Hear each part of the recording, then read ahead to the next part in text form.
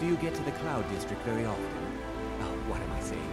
Of course you don't. Is someone there?